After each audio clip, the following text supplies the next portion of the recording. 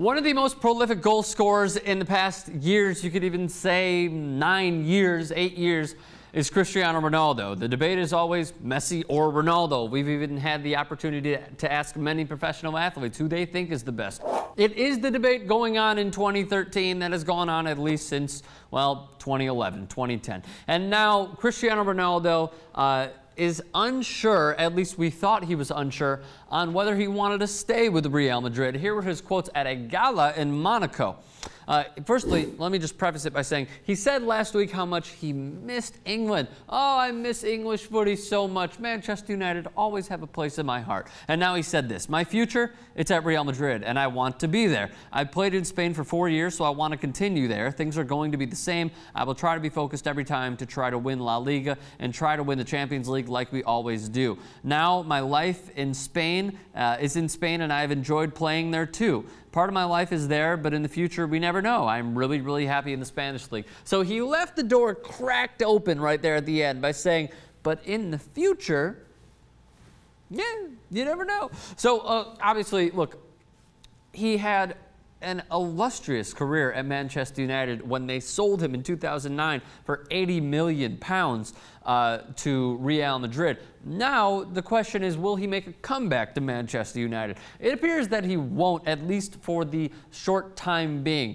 And a new contract is on the table with Real Madrid. They had high, high goals and as many aspirations of not only winning La Liga, but winning a Champions League, at least getting to the final at minimum. And yet they had a horrible season. They won one trophy, even though I like to say that they won zero because that one trophy simply doesn't matter. It didn't matter because Jose Mourinho even left to go to Chelsea. So again, uh, the, the question is, will he stay with Real Madrid or will he go back to Manchester United? I believe for the short future, at least for another year or two, he will stay at Real Madrid. The big question for Manchester United, they are getting not getting rid of, but there's a huge question mark with Wayne Rooney.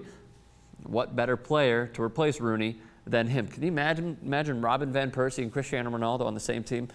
It's a lot of goals. So, okay, he's 28 years old. He's from Portugal. Uh, obviously, uh, another goal of his is to win the World Cup with Portugal. But club-wise, at least in my opinion, I think he'll stay at Real Madrid. I asked you guys what you guys think if he will stay or if he will go and where he should go. Here we go. Rip City Boy says, of course he should stay. Why would he leave such a prestigious club? It wouldn't make sense to return to Man U without Sir Alex. Well, to play with Van Persie and go back to the club that absolutely adores you is at least two reasons. Uh, Miguel Vallejo, tweets at Strom, he should stay in Madrid.